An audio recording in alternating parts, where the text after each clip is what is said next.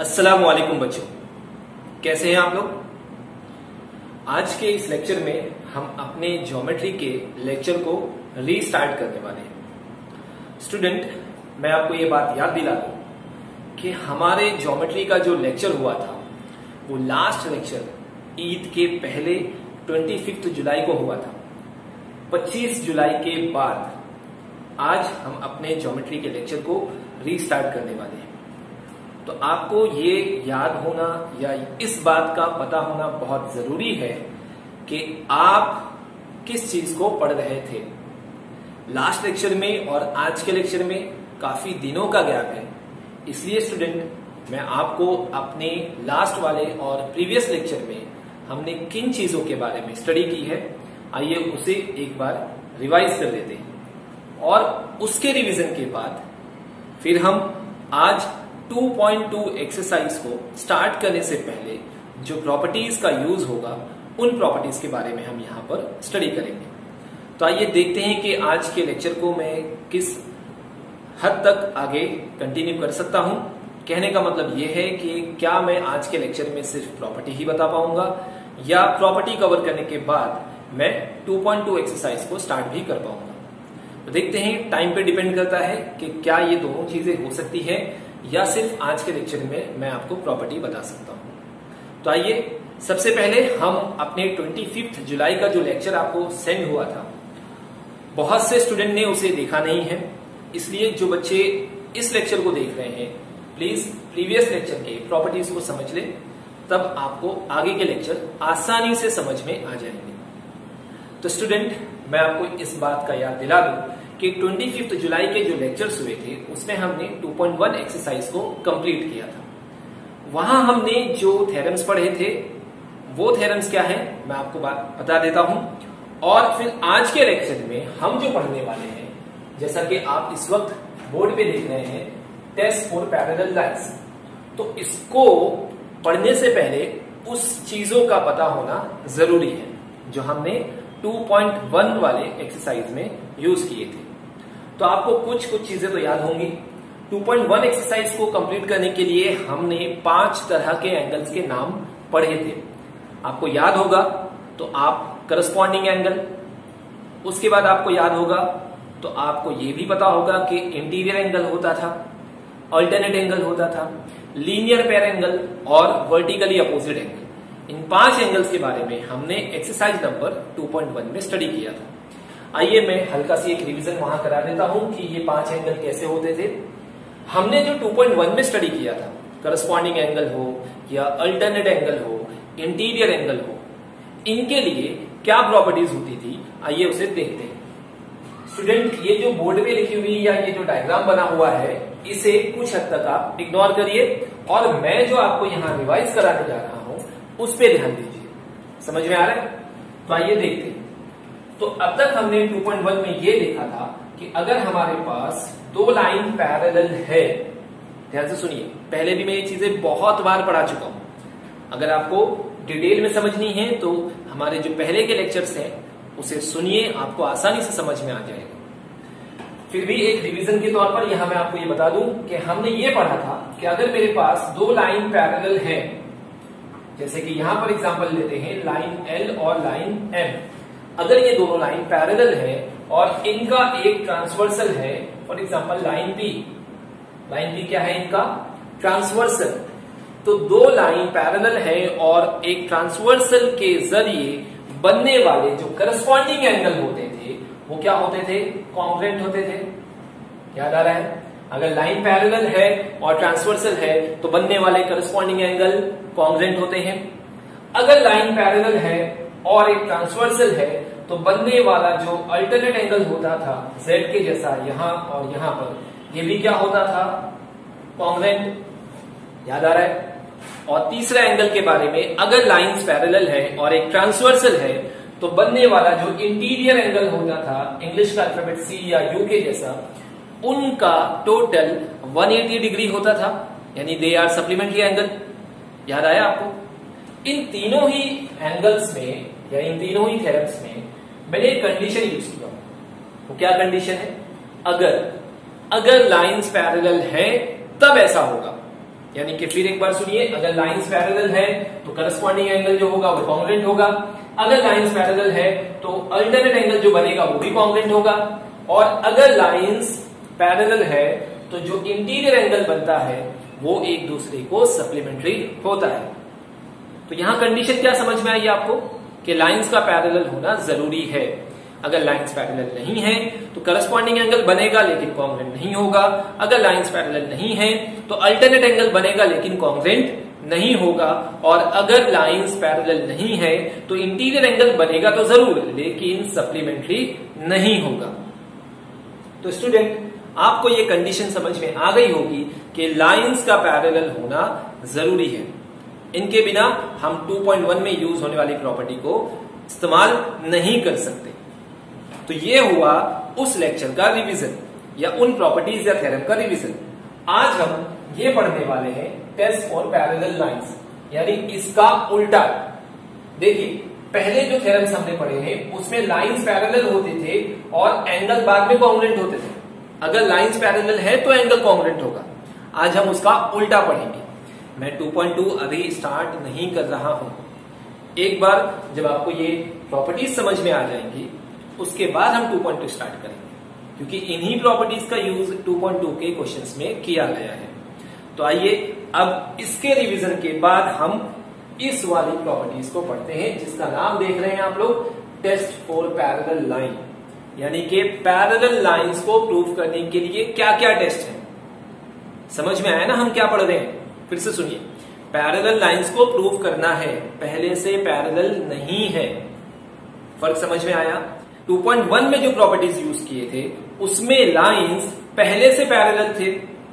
लेकिन 2.2 में जो इन प्रॉपर्टीज़ को हम यहाँ समझ रहे हैं, इसमें लाइंस पहले से पैरेलल नहीं है, बल्कि हमको पैरेलल प्रूव करना पड़ेगा। तो आइए देखते हैं कि वो क्या प्रॉपर्टीज़ है। समझ में आ रही है बात? तो देखिए, इसको इस डायग्राम को आप भूल जाइए और ये हेडिंग देखिए टेस्ट फॉर पैरेलल लाइंस तो ऐसे हमारे पास पैरेलल लाइंस को, वो पैरेलल है या नहीं है लाइंस को पैरेलल प्रूफ करने के लिए ऐसे हमारे पास टोटल तीन टेस्ट है। जैसे कि इस वक्त आप अपने बोर्ड पे देख रहे हैं। Interior angle test alternate angle test और तीसरा करस्पॉन्डिंग एंगल टेस्ट अब आप बोलेंगे, सर, ये तो वही नाम है जो हमने पहले पढ़े थे। बिल्कुल वही नाम है। वहाँ पर जब मैंने नाम लिखा था तो मैंने ऐसे लिखा था इंटीरियर एंगल थेरम या सिर्फ़ इंटीरियर एंगल उसमें टेस्ट का वर्ड यूज़ नहीं हुआ था। फ़र्क समझ में आ रहा है? जब हम टेस्ट यूज़ करेंगे तो इसका मीनिंग अलग हो जाता है। यानी कि ये जो टेस्ट है, ये जितने भी आपको टेस्ट दिख रहे हैं, ये टेस्ट कब यूज़ करोगे? जब हमको लाइंस को पैरेलल प्रूव करना होगा। समझ में आया? और अगर लाइंस पहले से पैरेलल है तो उस टाइम पे हम टेस्ट यूज़ नहीं करते, उस टाइम पे हम इंटीरियर एंगल थ्योरम यूज़ करते हैं। आ रही है बात समझ में? आइए देखते हैं तो देखिए, अब आपको ये समझना है कि हम दो लाइंस को पैरेलल कैसे प्रूव कर सकते हैं। तो उसके लिए मेरे पास कितने टेस्ट बताया स्टूडेंट तीन टेस्ट बताया। सबसे पहला टेस्ट कौन सा है? इंटीरियर एंगल टेस्ट दूसरा अल्टरनेट एंगल और तीसरा करस्पॉन्डिंग एंगल टेस्ट अब इसको कैसे यूज़ करना है, या ये टेस्ट क्या कहते हैं, उसे यहाँ समझते हैं। सबसे पहला जो है इंटीरियर एंगल अब आप सब जानते होंगे कि इंटीरियर एंगल क्या चीज़ होती है। पता है ना इंटीरियर एंगल हाँ वो इंग्लिश का अल्फ़ाबेट क्या बनाते हैं? सी या यू के जैसा सिंबल बनाते हैं। जैसे कि आप इस वाले डायग्राम में देख सकते हैं। तो यहाँ पर आप देखोगे राइट हैंड साइड की तरफ़ तो एंगल नंबर वन और एंगल नंबर टू अगर इन दोनों को मैं प्रेस करूँ तो ये इंटीरियर एंगल का शेप बनाते हैं। और अगर मैं इस एंगल नंबर वन की डिग्री दे देता हूँ 80 डिग्री और एंगल नंबर टू की डिग्री दे देता हूँ 100 तो 80 और 100 को प्लस करो। और टोटल देखो कितना आएगा। 180 आया ना? 100 प्लस 80 टोटल कितना आ गया? 180 तो अगर बनने वाले इंटीरियर एंगल का टोटल सप्लीमेंट्री है। 180 का मतलब क्या बताया था मैंने? सप्लीमेंट्री तो अगर बनने वाले इंटीरियर एंगल का टोटल सप्लीमेंट्री यानी कि 180 है तो ये दोनों लाइंस एल और एम क्या होगा? पैरेलल होगा। समझ में आ रहा है? बिल्कुल उल्टा है। पहले हमने ये पढ़े थे, पहले 2.1 में, कि अगर लाइंस पैरेलल है तो बनने वाले इंटीरियर एंगल सप्लीमेंट्री होते हैं। अब हम इसका उल्टा पढ़ रहे हैं। कि अगर इंटीरियर एंगल सप्लीमेंट्री है तो लाइंस क्या होगा? पैरेलल बिल्कुल उल्टा, आसान है। सुने ना? एक बार फिर सुनिए। इंटीरियर एंगल टेस्ट क्या कहता है कि अगर बनने वाले इंटीरियर एंगल सप्लीमेंट्री है तो ये जो लाइंस है, ये पैरेलल होगा। आइए इस डायग्राम में भी ऑब्ज़र्व करते हैं। यहाँ पे मैंने एंगल्स के नाम लिखा हूँ, आप देख सकते हैं। यहाँ हम दे देते हैं इस एंगल को 71 और यहाँ हम दे देते हैं इस एंगल को 109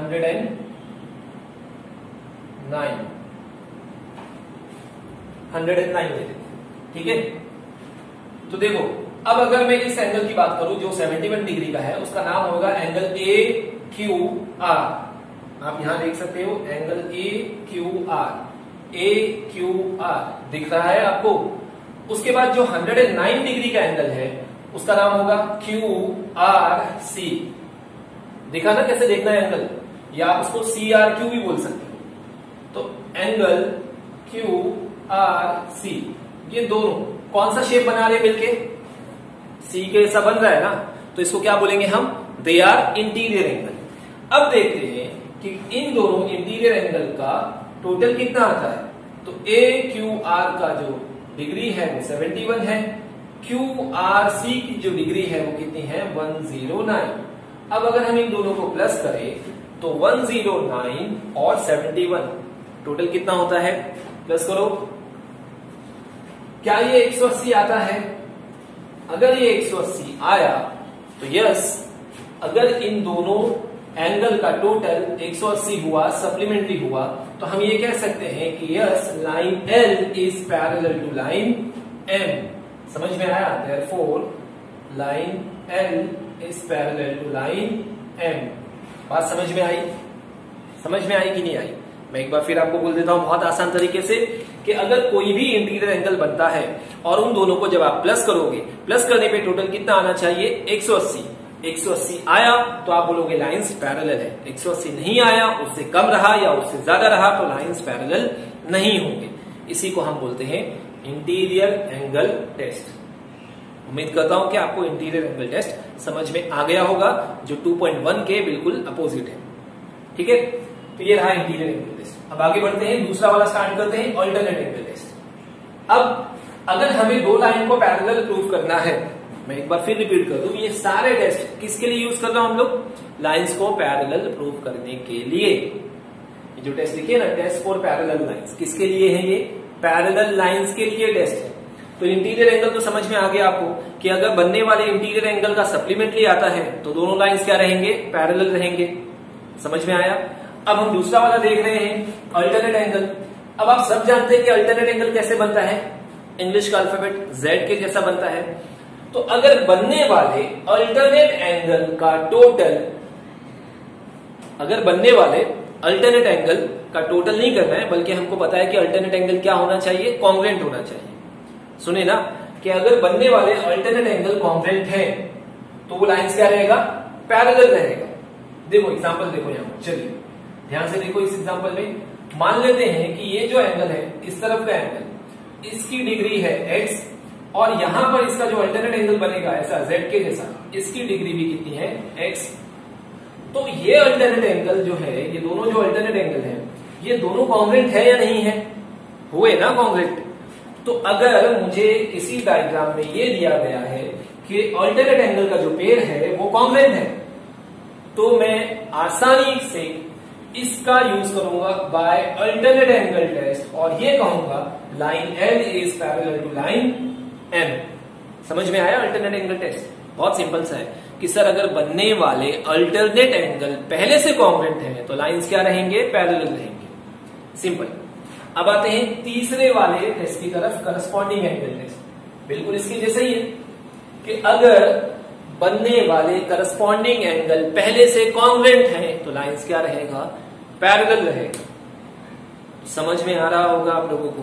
बहुत आसान है। अब इन तीनों टेस्ट को एक बार मैं फिर रिपीट कर देता हूँ, ताकि हम इनका यूज़ कर सके 2.2 एक्सरसाइज में। और जैसा कि मैंने पहले कहा था कि टेस्ट को कंप्लीट करने के बाद हम 2.2 एक्सरसाइज स्टार्ट करेंगे। तो आइए जल्दी से इनका रिवीजन कर लेते हैं। बार बार चीज़ों को रिपीट करने से आप उन चीज़ों को इतने ध्यान से सुनते नहीं हो और मैंने अक्सर देखा हूँ बच्चों से पूछने में पता चलता है कि वो लेक्चर देखते नहीं। तो इसलिए मैं इसे शॉर्ट में जल्दी से बता देता हूँ, एक बार रिविजन ज़रूरी है। टेस्ट फॉर पैरेलल लाइंस ये वो टेस्ट है जिनका हम यूज़ करेंगे। आपको पता होना चाहिए हम क्या पढ़ रहे हैं। कल को आपके घर में या किसी ने भी आपसे पूछा कि आज के लेक्चर में आपने क्या पढ़ा? तो आपको बोलने आना चाहिए कि हमने टेस्ट फॉर पैरेलल लाइंस को स्टडी किया। फिर दूसरा क्वेश्चन ये होगा कि ये क्या होता है? टेस्ट फॉर पैरेलल लाइंस क्या होता है? तो आप उसे आसानी से बोल सकते हो, ये वो टेस्ट है जिनका यूज़ करके हम किसी भी दो लाइन को पैरेलल प्रूव कर सकते हैं। इसलिए इनका हेडिंग ही है test for the parallel lines किस लाइन के लिए? पैरेलल लाइंस के लिए। तो अब इनके स्टेटमेंट क्या है? वो मैंने आपको बताया। कि अगर बनने वाले इंटीरियर एंगल सप्लीमेंट्री हैं तो लाइंस क्या रहेंगे? पैरेलल रहेंगे। पहले से होना चाहिए। हाँ?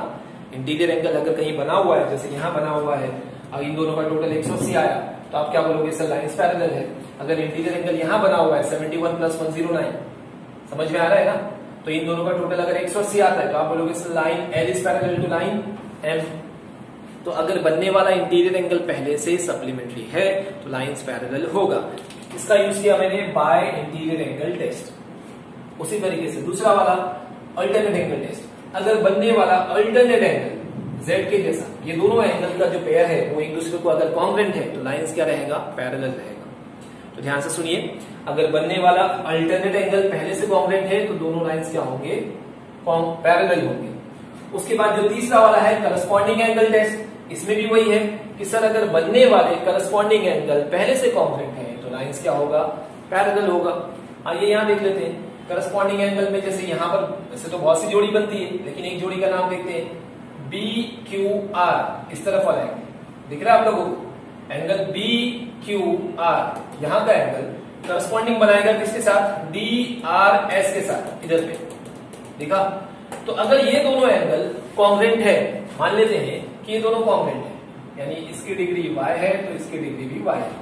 तो अगर ये दोनों एंगल कॉन्ग्रेंट है, और दिखने में वो कैसे दिख रहे हैं करस्पॉन्डिंग एंगल दिख रहे हैं तो आप बोल सकते हो, सर लाइन एल पैरल होगा लाइन एम को। किसके ज़रिए करस्पॉन्डिंग एंगल टेस्ट के ज़रिए।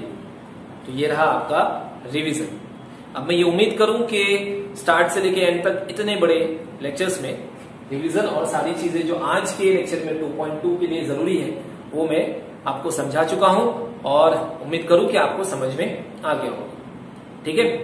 थोड़ा बहुत अगर डाउट है तो वीडियो को पीछे करिए रिपीट करके वीडियोस को देखिए, आपको आसानी से समझ में आ जाएगा। आइए, अब हम अपनी एक्सरसाइज नंबर 2.2 को स्टडी करते हैं और देखते हैं कि उसमें इन टेस्ट का यूज़ कैसे किया जाता है। ठीक है? आइए देखते हैं। तो स्टूडेंट ये रहा आपका एक्सरसाइज नंबर 2.2 का फ़र्स्ट वाला क्वेश्चन आइए बोर्ड पे देखते हैं exercise number 2.2 main question number one ये उसका डायग्राम है। आइए देखते हैं कि वो हमें क्या पूछता है या इस क्वेश्चन में हमें क्या सॉल्व करना है। क्वेश्चन रीड करते हैं। Y is equal to one zero eight degree जैसा कि आप यहाँ डायग्राम में देख रहे हैं एंगल y यहाँ पे लिखा हुआ है। कितना डिग्री है? One zero eight degree x is equal to seventy one यहाँ पर x लिखा हुआ है और इसकी डिग्री कितनी दी है? सेवेंटी वन डिग्री ये दो इंफॉर्मेशन के बाद वो आपसे बोलता है are the lines M and n parallel यानी वो आपसे क्वेश्चन पूछ रहा है कि क्या लाइन एम और लाइन एन ये दोनों हॉरिजॉन्टल लाइन पैरेलल हैं? और आगे एक वर्ड लिखा है जस्टिफाई जस्टिफाई का मतलब रीजन देना जस्टिफिकेशन करना कि अगर वो पैरेलल है तो क्यों है? और अगर वो पैरेलल नहीं है तो क्यों नहीं है? आ रही है बात समझ में? क्या आपको क्वेश्चन समझ में आया? आइए जल्दी से एक बार फिर से देखते हैं। Angle y is equal to one zero eight angle x is equal to seventy one degree और वो आपसे पूछ रहा है are the line M and N parallel क्या लाइन एम और लाइन एन पैरेलल है? ये आपसे वो क्वेश्चन पूछ रहा है। साथ ही साथ उसने जस्टिफिकेशन करने के लिए कहा है, इसका मतलब आपको पूरी तरीके से समझाना होगा कि वो पैरेलल है तो क्यों है, और अगर वो पैरेलल नहीं है तो क्यों नहीं है। तो उम्मीद करता हूँ कि क्वेश्चन तो आपको आसानी से समझ में आ गया होगा। आइए देखते हैं कि इसे कैसे सॉल्व करना है। और अभी अभी हमने जो test for the parallel lines देखे थे, उनका यूज़ कैसे इस क्वेश्चन में किया जाएगा। ठीक है? आइए देखते तो स्टूडेंट अगर मैं गौर से देखू इस डायग्राम को तो मेरे पास x और y ट्रांसवर्सल के एक साइड में है। और मैं अगर देखता हूँ तो मुझे ये कुछ इस तरह से बनते हुए दिखता है। यानी ऐसा शेप जहाँ पर x लिखा हुआ है, वो 71 डिग्री का है, और जहाँ पर y लिखा हुआ है, वो है 108 डिग्री का। समझ में आया? तो इन दोनों डिग्री को अगर मैं प्लस करूँ, या मैं ध्यान से देखूँ तो ये मुझे किस तरह का एंगल दिख रहा है?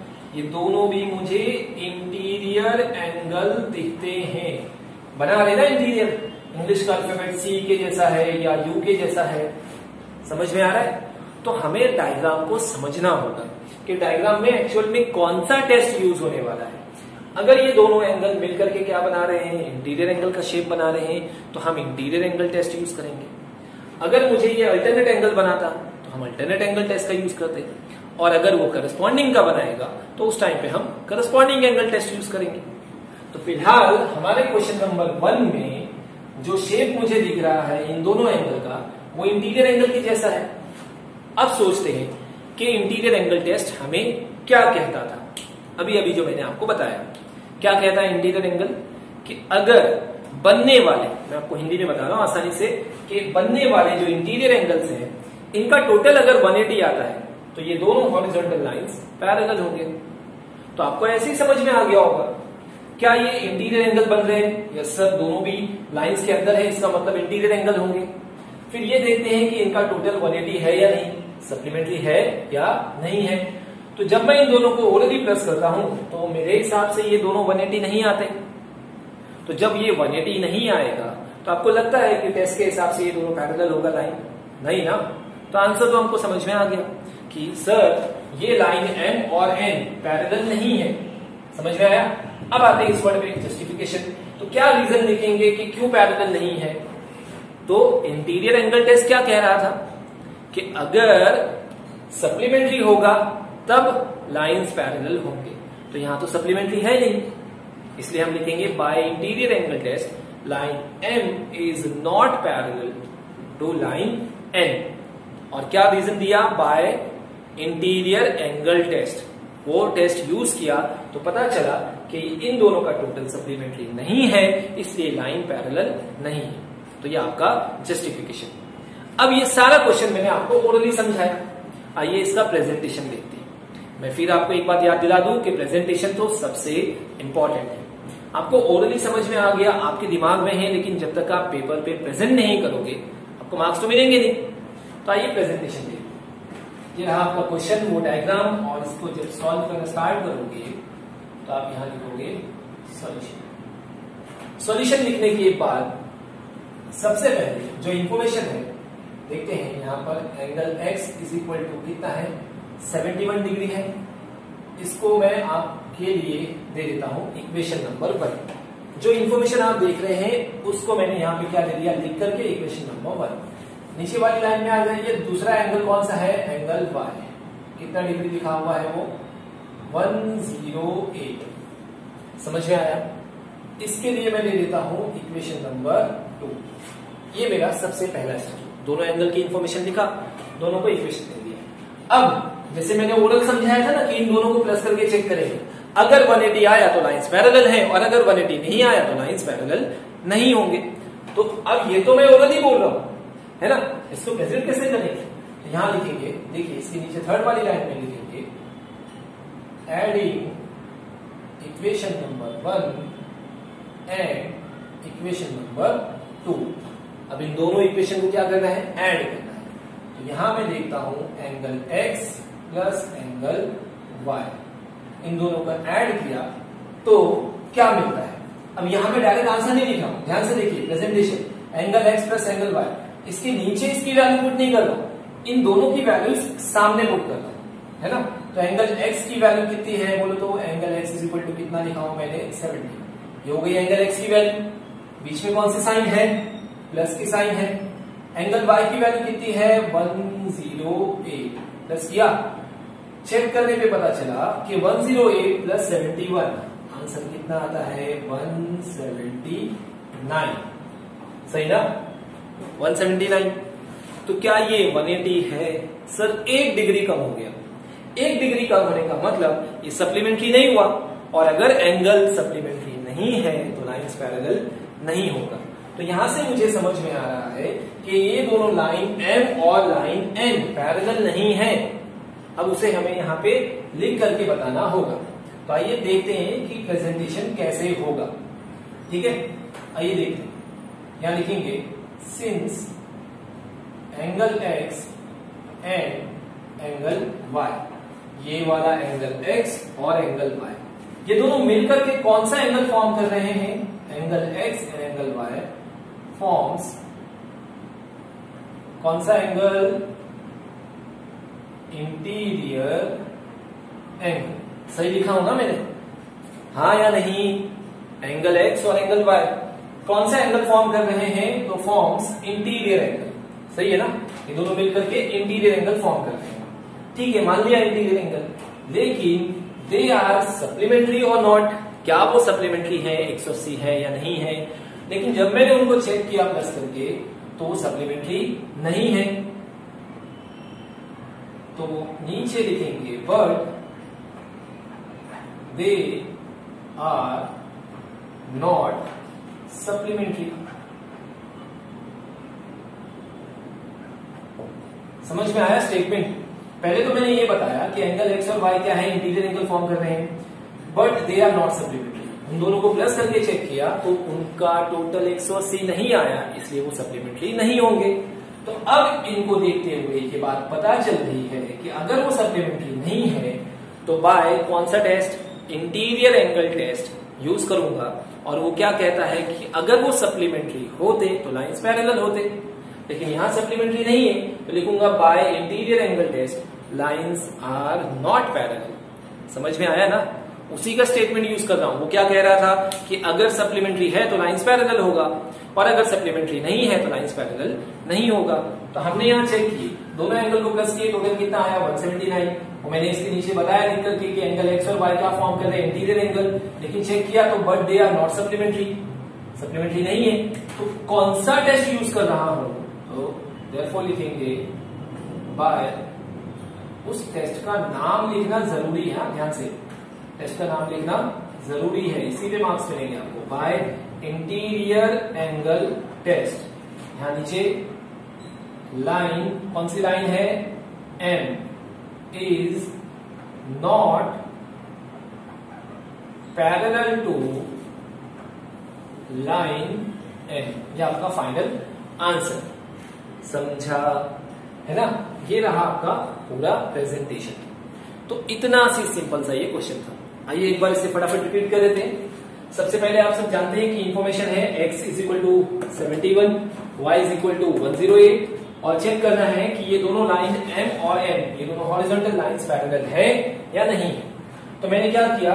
इन दोनों को इक्वेशन दे दिया, फिर दोनों इक्वेशन को ऐड कर दिया। x प्लस वाई दोनों की वैल्यू को पुट किया टोटल कितना आया? वन सेवेंटी नाइन फिर मैंने चेक किया कि सर एक्स और वाई तो क्या फॉर्म कर रहे हैं? इंटीरियर एंगल फॉर्म कर रहे हैं, है ना? लेकिन इंटीरियर एंगल सप्लीमेंट्री है क्या? अगर वो सप्लीमेंट्री होते तो लाइंस पैरेलल होती। और अगर वो सप्लीमेंट्री नहीं है तो लाइंस पैरेलल नहीं है। ऐसा कौन कहता है? ऐसा कहता है इंटीरियर एंगल टेस्ट तो देखो यहाँ लिखा हो but they are not supplementary तो इंटीरियर एंगल टेस्ट के हिसाब से दोनों लाइन पैरेलल नहीं है। M is not parallel to N simple तो आपका जस्टिफिकेशन ये जो है ना, ये प्रेजेंटेशन ये आपका हो गया जस्टिफिकेशन रीजन के साथ। इसी पे आपको कंप्लीट मार्क्स मिलेंगे। ठीक है? इस क्वेश्चन को आप कॉपी कर लीजिए। क्वेश्चन नंबर वन कंप्लीट आइए इसके बाद देखते हैं मेन क्वेश्चन नंबर टू तो student main question number one के बाद बोर्ड पे आपके सामने एक्सरसाइज नंबर 2.2 का सेकंड क्वेश्चन आप देख सकते हैं। और ये उसका डायग्राम आइए क्वेश्चन देखते हैं और जल्दी से इसे सॉल्व करते हैं। बहुत ही सिंपल है। आपको पहला क्वेश्चन समझ में आ गया होगा। वैसा ही कुछ मिलता जुलता हमारा सेकंड क्वेश्चन है, जिसमें क्या कहा गया है? If angle A is congruent to angle B ये हमारी इंफॉर्मेशन है कि एंगल ए और एंगल बी क्या है? कॉन्ग्रेंट है। अब आप अगर डायग्राम देख रहे होंगे तो आपको एंगल ए और एंगल बी इस तरफ़ दिख रहा होगा। एंगल ए ऊपर की तरफ़ है और यहाँ नीचे की तरफ़ एंगल बी है। आगे लिखा है prove that line L is parallel to line N ये जो वर्ड है प्रूफ दैट प्रूफ दैट का मतलब साबित करके बताओ प्रूफ करके बताओ कि लाइन एल और लाइन एम पैरेलल है। समझ में आ रहा है? उसने पूछा नहीं है कि नहीं, बल्कि हमको ये प्रूफ करके बताना है। देखिए सवाल थोड़ा सी अलग है। इसके पहले ये पूछा था कि पैरेलल है या नहीं फ़र्स्ट वाले क्वेश्चन में। इस वाले क्वेश्चन में क्या बोला है? कि if angle A is congruent to angle B ये हमारी इंफॉर्मेशन है कि ए वाला एंगल जो ऊपर की तरफ़ बना हुआ है, ये वाला एंगल एंगल बी जो इस तरफ़ बना हुआ है, इसको क्या है? कॉन्ग्रेंट है। ठीक है? फिर इसके बाद बोलता है prove that line L is parallel to line M prove करो कि लाइन एल पैरेलल होगा किसको? लाइन एम को। तो इस बार हमको प्रूव करके बताना है। तो आइए प्रूव करने के लिए देखते हैं कि कौन से टेस्ट का यूज़ होगा। है ना? वही तीन test corresponding angle test interior angle जो हमने फ़र्स्ट वाले क्वेश्चन में यूज़ किए थे, और अल्टरनेट एंगल तो यहाँ पर क्या यूज़ होगा? आइए समझने की कोशिश करते हैं। तो स्टूडेंट जैसा कि मैंने आपको बताया था कि हम लोग डायग्राम को ऑब्ज़र्व करते हैं, और डायग्राम में ये देखने की कोशिश करते हैं कि दिए हुए दोनों एंगल कौन से शेप में हैं। तो अगर मैं एंगल ए और एंगल बी को देखूँ तो यहाँ तो ना तो वो इंटीरियर बना रहे, ना तो वो करस्पॉन्डिंग बना रहे हैं एफ़ के जैसा। और ना ही वो अल्टरनेट एंगल बना रहे हैं जेड के जैसा। तो इसमें तो तीनों तरह के एंगल नहीं बनते। तो हुआ ना ये थोड़ा सा ट्रिकी क्वेश्चन अब इसे कैसे सॉल्व करेंगे? तो इस क्वेश्चन को सॉल्व करने के लिए हम एक काम करें जैसा कि हमने 2.1 में भी कुछ क्वेश्चंस के अंदर अपनी मर्ज़ी से कुछ एंगल्स लिए थे। एंगल बने हुए हैं, सिर्फ़ उसके नाम दे देंगे। जैसे कि यहाँ पे इस एंगल का नाम क्या है ए इस तरफ़ उसका नाम क्या लिखा हुआ है बी हम इस एंगल ए के अपोजिट में एक एंगल लेंगे सी देखा आपको? एंगल ए के अपोजिट में एक एंगल क्या लिया है? सी लिया गया है। अब इसका फ़ायदा क्या होगा? तो आइए मैं इसे आपको ओरली समझाता हूँ, उसके बाद प्रेजेंट करते हैं। देखिए, ध्यान से देखिए। अब आप एंगल ए और एंगल सी को अगर देख रहे होंगे तो एंगल ए और एंगल सी कैसे दिख रहे हैं? हमारे 2.1 में जो पाँच एंगल पढ़ाया था, उसमें से एक एंगल दिख रहा होगा। इंग्लिश का अल्फ़ाबेट एक्स के जैसा। हाँ नाम बोलिए ज़ोर से। बोलिए, आवाज़ आ रही है। क्या वो वर्टिकली अपोजिट एंगल और आपको ये भी पता होगा कि वर्टिकली अपोजिट एंगल्स क्या होते हैं? कॉन्ग्रेंट होते हैं। तो यहाँ मैंने, जब मैंने ये कंसीडर कर लिया कि जैसा कि इस डायग्राम में एंगल सी को मैंने कंसीडर कर लिया हूँ। Consider angle C as in figure ठीक है? तो एंगल सी को कंसीडर करने के बाद मैंने ये दोनों का रिलेशन देखा ए और सी का। तो they are congruent because they are vertically opposite angle और उनको प्रूव करने की ज़रूरत नहीं है। वर्टिकली अपोजिट एंगल कॉन्ग्रेंट होता है। ठीक है ना? तो एंगल ए कॉन्ग्रेंट हो जाएगा एंगल सी को। फिर उसके बाद सेकेंड टाइम पे मैं ये देखूँगा एंगल सी और एंगल बी जरा ध्यान से देखो। एंगल सी और एंगल बी अगर मैं यहाँ बना के दिखाऊँ तो कुछ ऐसा दिखता है। यहाँ लिखा हुआ है सी और नीचे की तरफ़ लिखा हुआ है बी अब आप बच्चों, समझ ही गए होंगे। हाँ कौन से टाइप का एंगल है? बोलो बोलो रेहान कौन से टाइप का एंगल है? एंगल सी और एंगल बी करस्पॉन्डिंग एंगल बन रहा है। सही ना? उसके बाद अगर मैं फ़र्स्ट वाला इक्वेशन देखू एंगल ए और एंगल बी वो तो पहले से ही कॉन्फ्रेंट है। तो इन तीनों इक्वेशन को मैं यूज़ करूँगा और ये प्रूव करके दिखाऊँगा कि मेरा जो एंगल सी है और एंगल बी है, वो क्या हो जाएगा? कॉन्ग्रेंट अब अगर यहाँ देखें एंगल सी और एंगल बी ये पहले से कॉन्ग्रेंट नहीं है। इसको मैं प्रूव करके दिखाऊँगा और हमारा टेस्ट क्या कहता है कि ये करस्पॉन्डिंग एंगल अगर कॉन्ग्रेंट है तो लाइंस क्या हो जाएगा? पैरेलल हो जाएगा। समझ में आ रहा है ना? टेस्ट क्या है अपना? करस्पॉन्डिंग एंगल टेस्ट क्या स्टेटमेंट है? कि अगर बनने वाले करस्पॉन्डिंग एंगल पहले से कॉन्ग्रेंट है तो लाइंस क्या रहेगा? पैरेलल तो यहाँ पे करस्पॉन्डिंग एंगल बनता हुआ तो दिख रहा है। लेकिन ये कॉन्ग्रेंट है या नहीं एंगल सी और एंगल बी ये अब तक प्रूफ नहीं हुआ, इसे मैं प्रूफ करके दिखाऊँगा। और अगर मैंने प्रूफ कर दिया कि एंगल सी और एंगल बी ये दोनों एंगल कॉन्ग्रेंट है तो आप क्या बोलोगे, सर करस्पॉन्डिंग एंगल अगर कॉन्ग्रेंट होता है तो टेस्ट के हिसाब से दोनों लाइंस क्या हो जाएगा? पैरेलल हो जाएगा। तो प्रूफ हो गया ना अपना काम। समझ में आया? आइए प्रेजेंट करके देखते ऑलरेडी मैंने कोशिश किया प्रेजेंटेशन देखते हैं, आसानी से समझ में आएगा तो प्रूफ करना है, इसलिए यहाँ पर हम लिखेंगे समझ गया मैंने क्या बोला? कि जब हमको किसी चीज़ को प्रूफ करना होता है प्रूव करो, यानी साबित करके बताओ तो यहाँ पे सोल्यूशन नहीं, बल्कि प्रूफ लिखते हैं। गिवन वगैरह भी लिखते हैं, लेकिन फ़िलहाल मैं इसको शॉर्ट फॉर्म में प्रूफ लिख के कर ठीक है? आइए आगे बढ़ते हैं, और सबसे पहले जो मैं इस डायग्राम में मैंने एंगल सी कंसिडर किया था, उसका मैं स्टेटमेंट यहाँ पे लिखता हूँ। ठीक है? क्या लिखेंगे देखो। चूँकि वो एंगल सी पहले से आपके क्वेश्चन में नहीं था, मैंने कंसिडर किया तो यहाँ लिखेंगे। उस चीज़ को बताएँगे। कैसे? Consider angle C as shown in figure यानी कि एंगल सी को उस तरह से कंसीडर करो, जैसे कि मैंने डायग्राम में दिखाया। ठीक है? चलो कंसीडर कर लिए। अब आते हैं प्रेजेंटेशन पे। इसके बाद का स्टेटमेंट क्या होगा?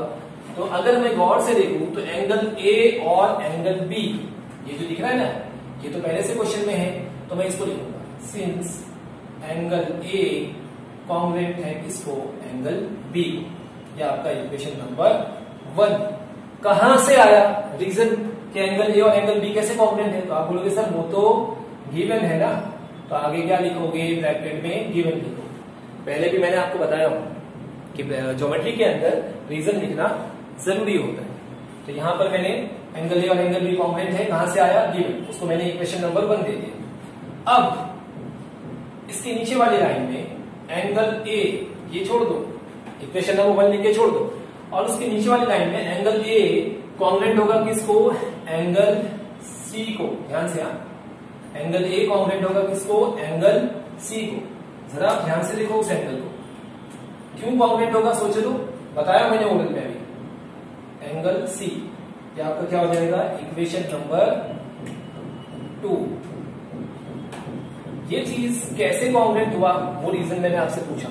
जब ओरल समझा रहा था तो मैंने कहा था कि वो पाँच एंगल में से जो इंग्लिश का अल्फ़ाबेट क्या बनाता है?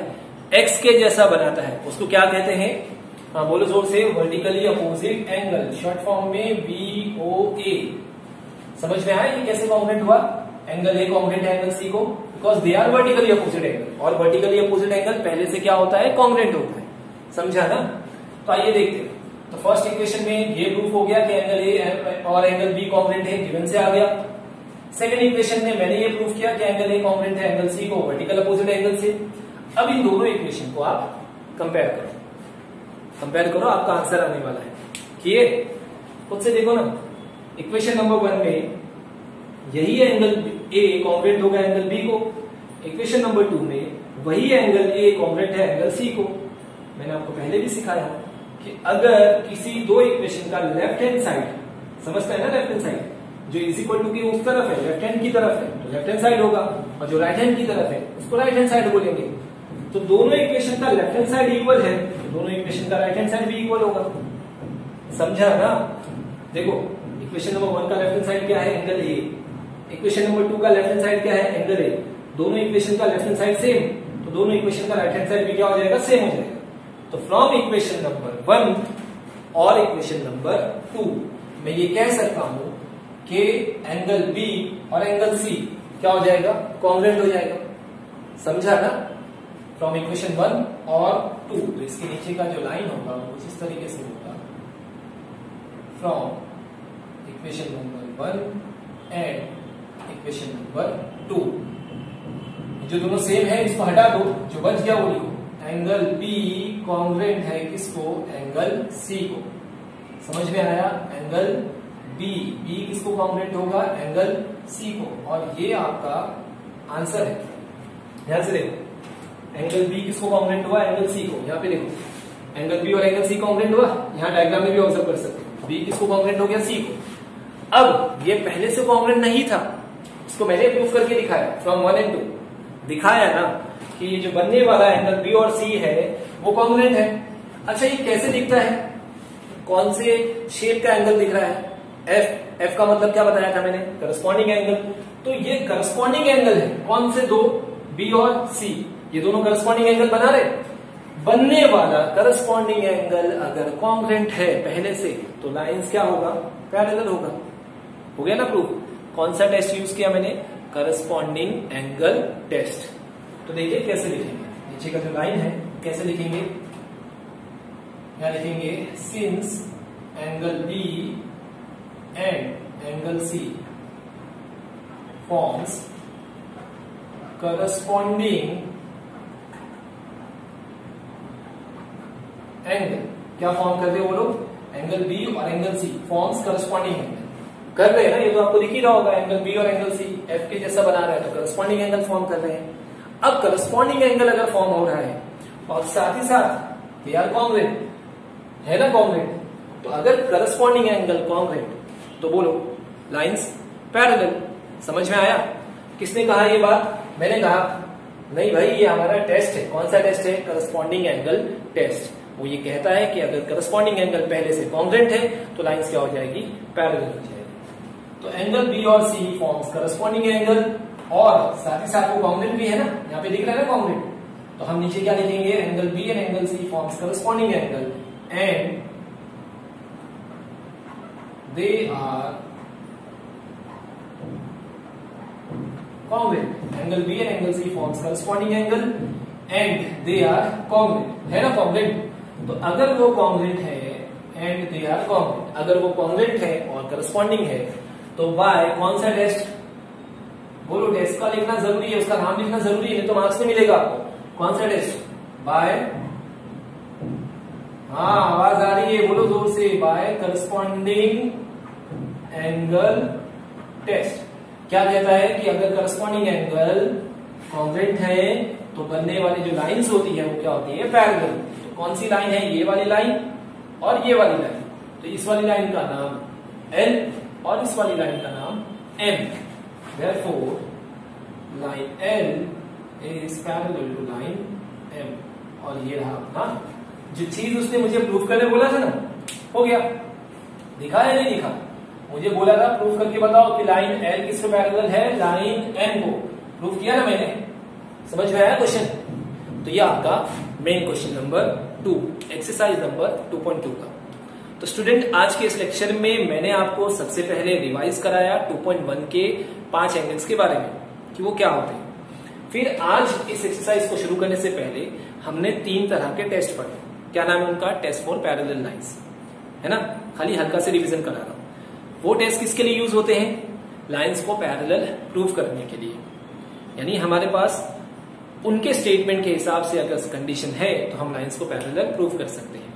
यानी मैं ये कहना चाह रहा हूँ कि अगर करस्पॉन्डिंग एंगल पहले से कॉन्ग्रेंट तो लाइंस पैरेलल अल्टरनेट एंगल पहले से कॉन्ग्रेंट तो लाइंस पैरेलल इंटीरियर एंगल पहले से सप्लीमेंट्री है तो लाइंस पैरेलल यही वो हमारा टेस्ट है. उसी के ऊपर आज हमने दो क्वेश्चन सॉल्व किए. एक यहाँ पे करस्पॉन्डिंग एंगल टेस्ट यूज़ किए और पहले वाले क्वेश्चन में इंटीरियर एंगल का टेस्ट यूज़ किए थे. समझ में आया? तो ये दो क्वेश्चन के साथ आज के इस लेक्चर को मैं यहीं फिनिश कर रहा हूँ. हम अपने कल के लेक्चर में मिलेंगे नए क्वेश्चन के साथ। तब तक के लिए आप इसे प्रैक्टिस करिए, अच्छे से प्रैक्टिस करके, साफ़ फ़ोटो लेकर के आप व्हाट्सएप पे सेंड करिए। मैं उसे शाम में चेक करता हूँ। ठीक है, ज़रूर देखिए ताकि जितनी मेहनत हम कर रहे हैं, उतनी ही मेहनत आपको भी करनी है। आपको इसकी प्रैक्टिस करोगे तो ही आएगा। सिर्फ़ देख करके मूवीज़ की तरह देख लिए और छोड़ दिए उसको और भगा भगा के देख लेने से कुछ सीखोगे नहीं आप। सीखना है तो ध्यान से देखिए और उसके बाद उसको प्रैक्टिस भी करिए। तो स्टूडेंट इन्हीं बातों के साथ मैं आज के इस लेक्चर को यहीं पे फिनिश कर रहा हूँ। मिलते हैं कल के लेक्चर में।